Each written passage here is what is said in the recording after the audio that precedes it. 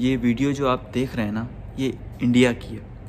तो देख के बहुत दिल से अफसोस होता है कि यार कोविड नाइन्टीन कोरोना वायरस इतना फैल गया इंडिया में।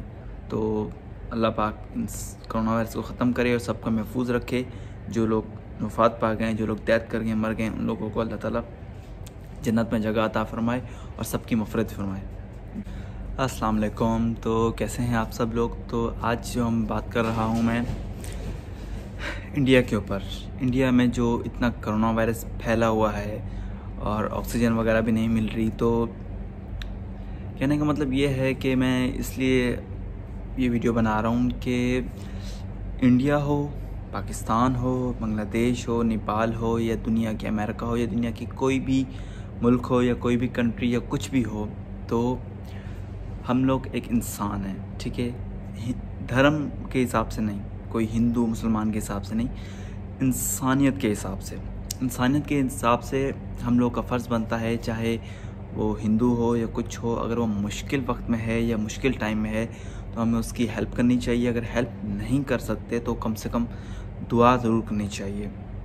ये नहीं कि कुछ और गलत बोलें कुछ गलत वीडियो बनाएँ कुछ बोलते जाएँ तो ऐसा ही होना था, ये ऐसा ही है, ऐसा नहीं होता। अब मैं एक पाकिस्तानी हूँ, पाकिस्तानी, ठीक है? मैं इंडिया से नहीं हूँ। और पाकिस्तान से हूँ, लेकिन पाकिस्तान में भी नहीं हूँ। मैं अभी यूएई में रहता हूँ, इमरात में, जिसे दुबई बोलते हैं, इमरात में यूएई में। दुबई में नहीं, लेकिन तो मैंने काफ़ी सारी वीडियोस देखी हैं, ठीक है?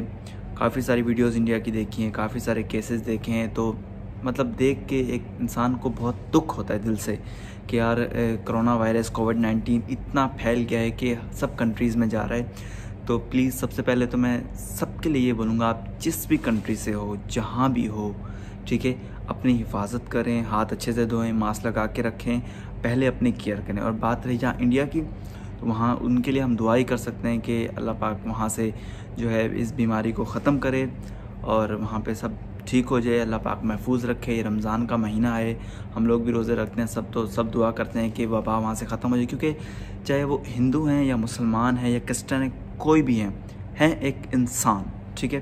एक इंसान है तो इसके लिए, सबके लिए हम तो दुआ करते हैं। मैं ख़ास तौर पे दुआ करता हूँ इंडिया के लिए, क्योंकि एक इंसान है, इंसानियत के नाते हमारा फ़र्ज़ बनता है, चाहे वो किसी भी मुल्क से हो, कोई भी मज़हब से हो, लेकिन वह इंसान है।